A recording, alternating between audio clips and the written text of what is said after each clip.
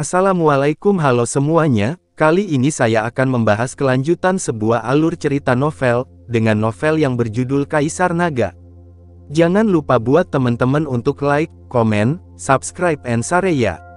Yuk, tanpa basa-basi lagi, kita lanjut ke pembahasannya, di episode sebelumnya, kedelapan monster ini telah kehilangan rambut mereka, memperlihatkan otot-otot kurus yang tampak seperti penuh dengan kilau logam. Setiap monster, dengan mata merah, meraung dengan suara rendah, terlepas dari hidup dan mati, terus-menerus menerkam para penguasa suku Donyi. Namun, Master Donyi terkadang menebaskan pedang mereka ke tubuh monster, dan mereka benar-benar membuat suara benturan logam dan besi. Ini adalah mayat iblis. Itu ditempa oleh nenek moyang kita. Mereka tidak takut mati, mereka hanya tahu bagaimana menyerang. Mereka sekeras besi, kebal terhadap pedang dan senjata. Hanya mata mereka yang menjadi titik lemah mereka, serang mata mereka, raung seorang tetua suku Donyi. Bunuh, bunuh. Lebih dari selusin master dari suku Donyi, dipimpin oleh dua seniman bela diri tingkat 4 senior, menyerang mata delapan mayat iblis dan boneka dengan seluruh kekuatan mereka. Mengaum, segera, mata monster itu hancur, dan dia meraung dan jatuh. Setelah menemukan cara, lebih dari selusin master suku Donyi bekerja sama dan dengan cepat mengalahkan delapan monster satu per satu. Ayo masuk, jika saya tidak salah, tempat ini pasti tempat yang penting. Seorang lelaki tua berkebangsaan Donyi berseru dengan bersemangat. Selusin orang Donyi bergegas masuk dengan penuh semangat. Setelah orang-orang Donyi pergi, sosok Luming muncul dan mengikutinya ke dalam istana. Langkah kaki Luming mendarat tanpa suara sedikit pun, dia mengikuti orang-orang Donyi lebih dari 10 meter, menahan napas, dan pihak lain tidak menyadarinya sama sekali. Setelah melintasi banyak halaman, mereka sampai di sebuah aula besar di tengah. Dari kejauhan, pintu aula utama terlihat terbuka, memperlihatkan rak buku di aula utama. Haha, ini sebenarnya perpustakaan. Pasti ada buku-buku rahasia yang tertinggal. Hebat, ada harapan untuk kebangkitan suku Donyi kita. Seru suku Donyi tua bersemangat. Lebih dari selusin orang Donyi sangat bersemangat dan hendak bergegas ke aula.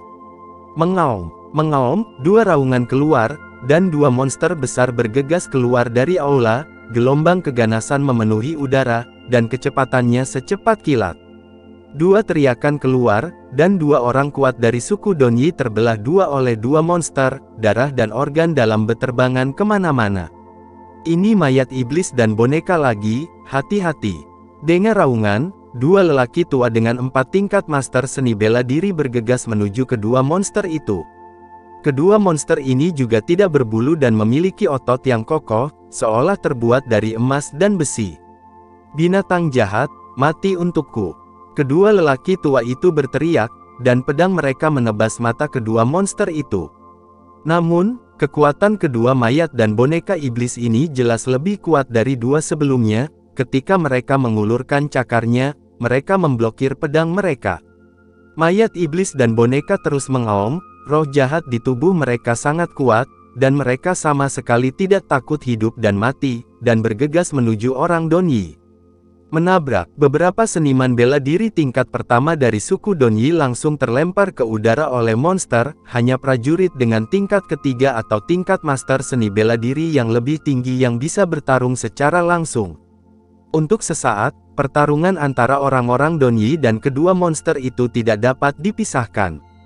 Pada saat ini, sesosok, tanpa suara dan seperti embusan angin, menyerbu kerumunan dan bergegas ke aula. Siapa? Sial, hentikan. Seorang lelaki tua dengan seniman bela diri tingkat 4 meraung dengan marah, dan menebas sosok itu dengan pisau tajam. Sosok ini tentu saja Luming.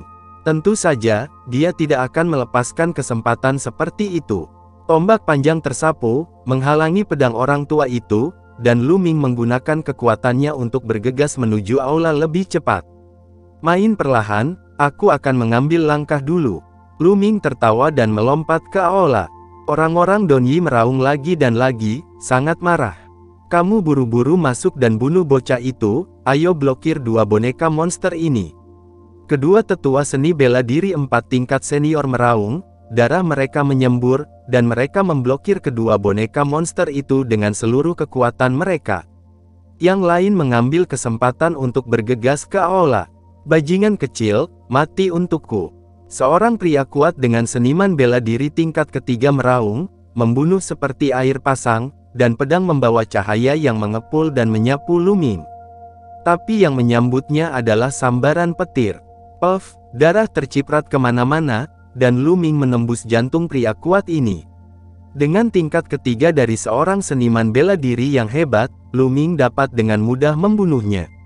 Setelah itu, tombak panjang menyapu, dan dua pria besar dengan seni bela diri tingkat kedua juga terbang keluar, kehabisan napas. Dalam sekejap mata, tiga tuan terbunuh. Kembali, yang lain menjadi pucat karena terkejut dan buru-buru mundur. Ayo bunuh dua monster ini bersama-sama, lalu bunuh bajingan kecil itu, dia tidak bisa melarikan diri.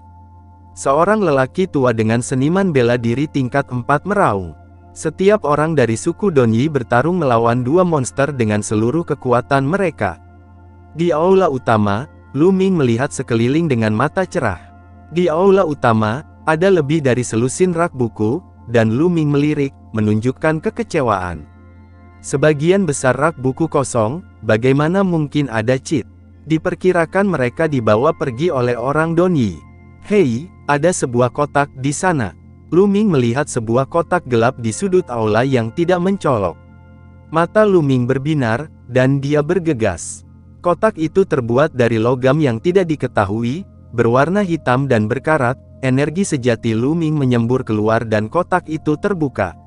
Segera, tumpukan buku terbuka di depan Luming, ada lusinan. Mata Luming bersinar, dan dia dengan cepat mengambil sebuah buku. Tentu saja, buku-buku rahasia ini tidak dapat dibuat dari kertas biasa, melainkan bahan yang tidak diketahui, yang sangat keras, dan telah utuh selama bertahun-tahun. Buka dan lihat bahwa itu adalah buku ilmu pedang. Seni pedang mengaum harimau, seni bela diri tingkat atas Huang. Tulisan di dalamnya terungkap. Itu hanya keterampilan bela diri tingkat atas Huang. Luming sedikit kecewa, lalu membolak-balik buku cheat lainnya. Sebagian besar cheat ini adalah seni bela diri tingkat Huang. Ada total 32 volume. Di antara mereka, ada 20 salinan seni bela diri tingkat rendah tingkat Huang, dan 10 salinan seni bela diri tingkat tinggi tingkat Huang. Hanya ada dua seni bela diri tingkat rendah Suan, dan semuanya adalah teknik pedang, jadi Lu Ming tidak bisa menggunakannya sama sekali. Lu Ming kecewa. Tidak heran mereka ditumpuk di dalam kotak dan ditempatkan di sudut ini, dan tidak dibawa pergi. Mereka dibuang ke sini seperti sampah. Lu Ming menggelengkan kepalanya dengan senyum masam. Apakah aku terlalu serakah? Meskipun buku-buku cheat ini tingkat rendah, jika dijual, mereka dapat dijual setidaknya puluhan juta tael perak, Luming memikirkannya, dan matanya bersinar lagi. Curang ini, antara lain, jika ditukar dengan poin kontribusi di aula kontribusi, mereka akan bernilai setidaknya ratusan ribu poin kontribusi yang akan menjadi keuntungan besar. Dengan pikiran, Luming mengumpulkan semua cheat ini ke kuil tertinggi. Bajingan kecil, serahkan cheat, jika tidak, mati. Pada saat ini, semua orang dari suku Donyi akhirnya menyingkirkan dua mayat dan boneka iblis, dan bergegas ke aula. Ketika mereka melihat rak buku yang kosong, mata mereka menjadi merah, dan mereka menatap Luming dengan sangat panas. Jika rak buku kosong, Luming pasti mengambilnya. Luming tidak repot-repot menjelaskan, jadi dia mencibir dan berkata, Aku tidak ingin bertarung denganmu sekarang, apakah kamu benar-benar berpikir aku takut padamu? Sentuh, dengan satu langkah, Luming bergegas menuju orang-orang Donyi seperti angin. Bunuh dia, semua orang dari suku Donyi meraung, dan mereka semua bergegas menuju Luming.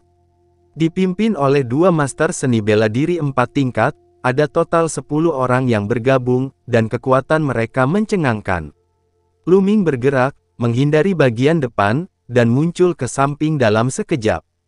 Tarian api, serangkaian bunga api muncul, dan ketika bunga api menyebar, tiga Master Donyi telah jatuh, tenggorokan mereka ditusuk oleh tombak.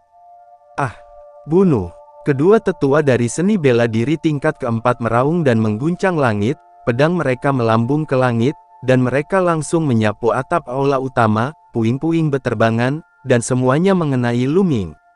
Lalu setelah itu, bagaimanakah kelanjutan ceritanya?